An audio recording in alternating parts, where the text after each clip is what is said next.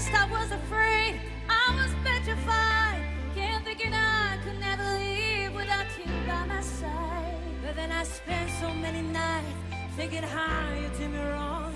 And I grew strong, and I learned how to get along.